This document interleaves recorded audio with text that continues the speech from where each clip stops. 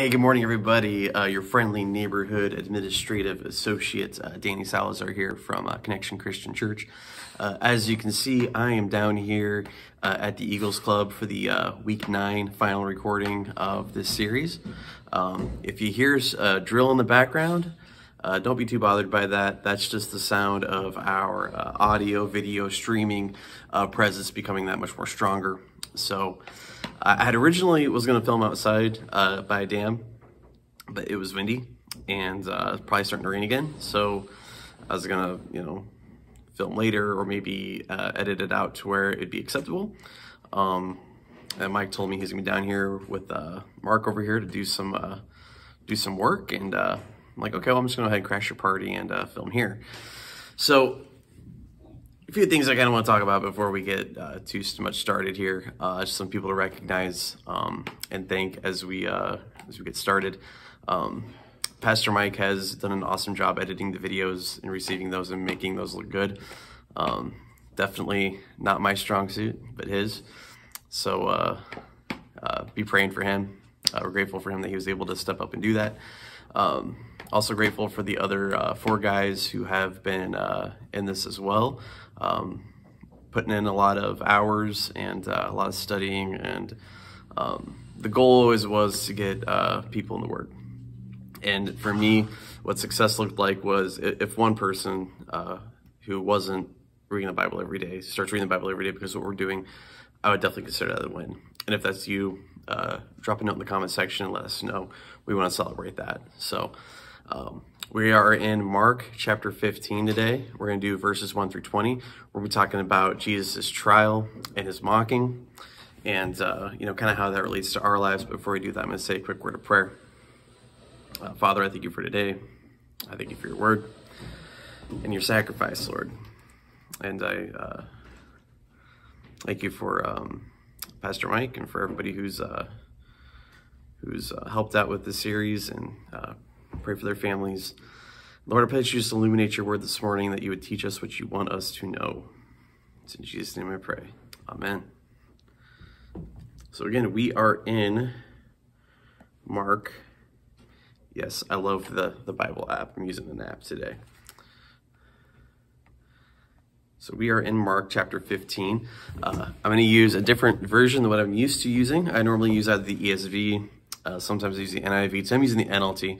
Um, I think the events that are talked about here are, uh, I think the way that they tell the story is, is pretty good. So I'm going to go ahead and use that today. Chapter 15, verse 1. Very early in the morning, the leading priests, the elders, and the teachers of the law, the entire high council met to discuss their next step. They bound Jesus, led him away, and took him to Pilate, the Roman governor. So this Jesus that they had celebrated not 48 hours earlier uh, has been saying some radical things. He's been doing some radical things, and he wasn't who they thought he was or what their idea of him was going to be. So uh, they arrest him and they bring him to the governor.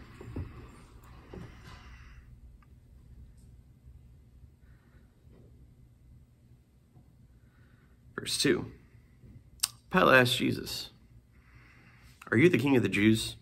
Jesus replied, You have said it. Then the leading priests kept accusing them of many crimes.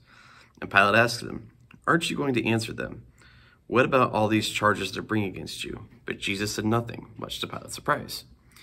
See, the thing about Jesus is that, you know, when you're sinless, you're not going to lie. And uh, Jesus definitely didn't want to perjure himself. So he's not guilty of any of these things that they were saying. Bible doesn't really go into detail of what they were accusing him of, but my guess is that these uh, law scholars, so to speak, were trying to throw the book at him, tried to get uh, him in trouble any way, shape, or form, uh, just because you know they're not getting their way. Now, it was the governor's custom each year during the Passover celebration to release one prisoner, any one the people requested. One of the prisoners at that time was Barabbas a revolutionary who had committed murder in an uprising. The crowd went to Pilate and asked him to release the prisoner as usual. Would you like me to release to you this king of the Jews? Pilate asked. For he realized by now that the leading priests had arrested Jesus out of envy. But at this point, the leading priests stirred up the crowd to demand the release of Barabbas instead of Jesus. Pilate asked them, Then what should I do with this man you call King of the Jews? And they shouted back, Crucify him. Why? Pilate demanded. What crime has he committed? But the mob roared even louder, Crucify him. So to pacify the crowd, Pilate released Barabbas to them. He ordered Jesus flogged with a lead tipped whip and then turned him over to the Roman soldiers to be crucified. So, what we basically see here is this interaction between the priests, the religious experts, the lawyers, so to speak, and uh, Pilate. And Pilate knows what he did was wrong. He got it. He understood that Jesus wasn't guilty, but he uh, bent to the will of the crowd. So, my question is have you ever been in a situation where you knew something was wrong and you had the opportunity to do the right thing, yet you went with the crowd? Has that ever happened? And what are you going to do next time you're faced with that? Are you going to go with the crowd or are you going to go with Jesus and do the right thing?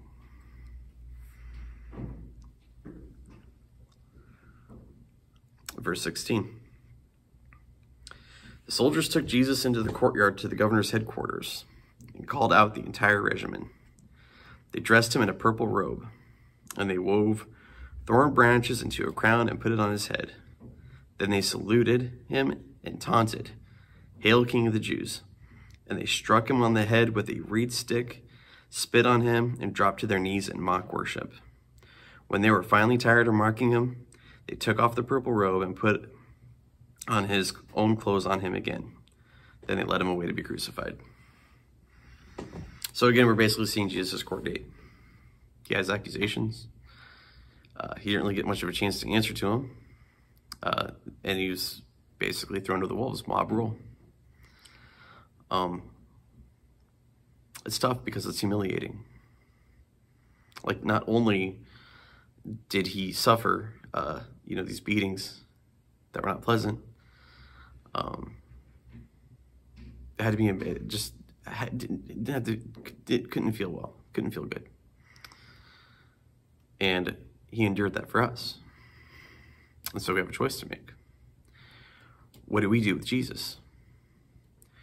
Do we go with the crowd, with the world, and reject him? Or do we go all in? And that's my question for you today. It's been my question this whole entire Mark Devo series. It always seems to be a theme of which side of the line are you on? Are you going to go with Jesus all the way to the cross? Or are you going to leave him? What's that look like in your life? You know, maybe you've not taken that step. And today I'd like to invite you to do that um, drop us a message, drop a comment. We would love to get you plugged in to uh, learn how to follow Jesus, to get involved in the local church, to uh, fellowship with other believers, to um, serve, to make disciples. You know, life changed really fast for everybody. And we all had to adapt. And so we gave you an opportunity every, you know, weekday to get into the Word and what I hope is that we helped you get into that habit, and hopefully that's something you keep up. So I know for me, um, I'm looking forward to the next series. I don't know when that's going to be. Uh, watch your uh, your Facebook and um, connectionchristianchurch.com. We'll have the information for that. Um, in the meantime, I'd encourage you to get a Bible app, and uh, you know whatever you're dealing with, it's there, and uh, find a plan to go through. And if you want accountability on that plan, uh, reach out to one of us, and uh, we'd love to use that app and, and uh, link our stuff up and, and, and go through that with you. Definitely. Um, yeah, so I hope uh, you're well. You know you're loved. And uh, I, uh, I do hope to see you this Sunday.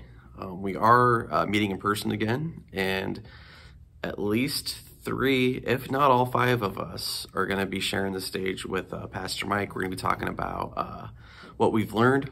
Um, he's not really giving us too much of a preview of the interview questions, so uh, be prepared for some off the cuff stuff, I'm sure. It'll be a great day. Um, can't wait to uh, uh, be in person uh, in this building here.